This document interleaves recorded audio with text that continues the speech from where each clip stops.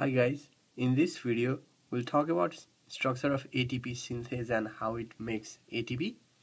Um, this is a structure of ATP synthase I drew. This is your inner mitochondrial membrane.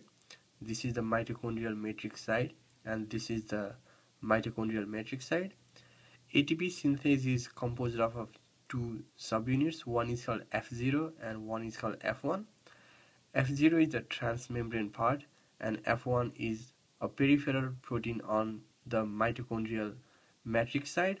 This F1 is never on this side. This is always on this side. F0 is composed of A1 B2 C 9 to 12 and um, so this blue subunit is our A.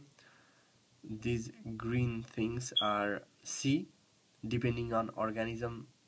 An organism could have 9 to 12 bacteria has 10 and it has 2b which are these sticks right here.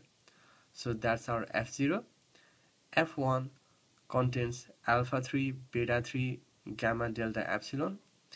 And here uh, all these blue structures are alpha and beta and they are organized one after another. So you have alpha beta alpha beta alpha beta and you have six total three alpha and three beta. Gamma is this part epsilon is this one and delta is this one.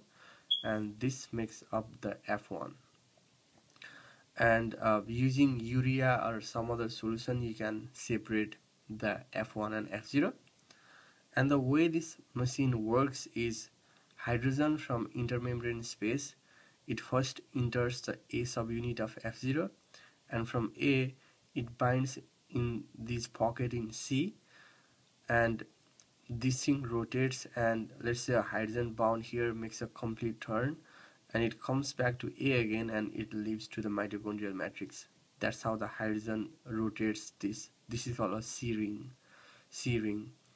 Um, so you can think that even though let's say we use some enzyme that separates F1 from F0 then this C ring still keeps working and the gradient of H plus would be dissipated and when the this C ring rotates it causes gamma subunit of F1 to rotate. So rotor portion of this machine is gamma subunit and C ring and this alpha 3 and beta 3 they don't rotate. They stay static. And delta and B2 they are just for support. Uh, now let's talk about how ATP is actually formed. So you have alpha beta protomers. Protomers means functional unit in protein and it's alpha and beta subunit that create ATP in this molecule.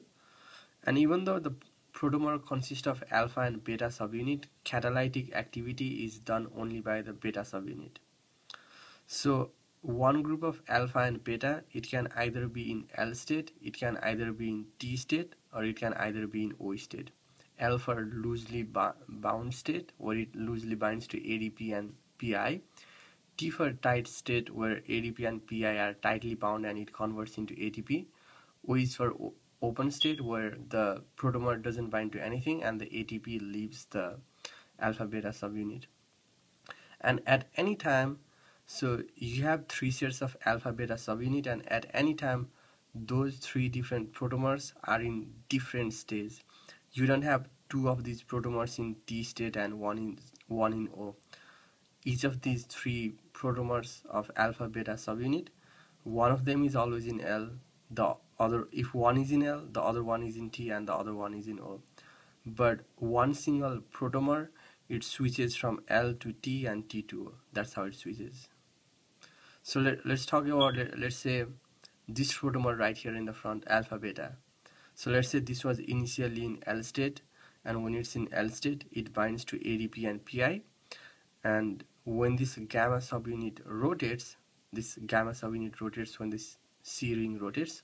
So when this gamma subunit rotates the if this is in L that's going to convert into T this alpha beta protomer.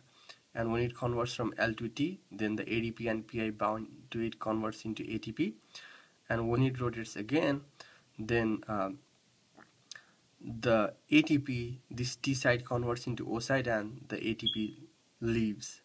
And when it rotates again, the O site changes into L site and this is ready to be bound to ADP and PI again. And in every rotation in a complete rotation that this gamma subunit makes 3.5 ATP can be made. So this is how ATP synthase molecule works hope you guys understood my videos. Thank you for watching. Bye